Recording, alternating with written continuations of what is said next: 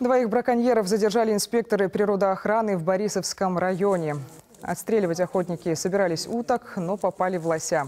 Оружие было зарегистрировано, присутствовало и разрешение на охоту, правда, на пернатых.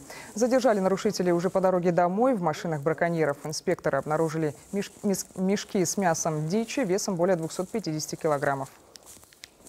Мужчины не отпирались, признали свою вину, не пытались скрыться, не пытались как-то обмануть госинспекторов. Э, Удивительно, что у обоих довольно большой стаж охотничий, у одного 30 лет, у другого 15 лет. Возбуждено уголовное дело по факту незаконной добычи лося. Вред, причиненный природе, оценивается почти в 7 тысяч рублей, и стоимость самого добытого животного тоже около полутора тысяч рублей. Следы нелегального сафари инспекторы обнаружили и в лесах Крупского района. Останки лося были найдены недалеко от деревни Шинки. Возбуждено уголовное дело. Кто подстрелил животное, выясняется.